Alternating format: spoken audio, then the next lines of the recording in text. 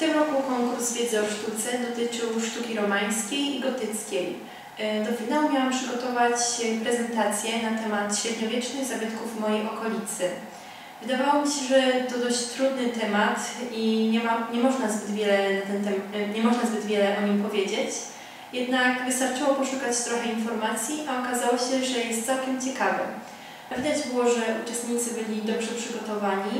E, Rozpoznałam także kilku z zeszłego roku. Cieszę się, że mogłam wpisać się w chlubną historię szkoły, ponieważ jestem już piątą osobą, która zajęła pierwsze miejsce w tym konkursie.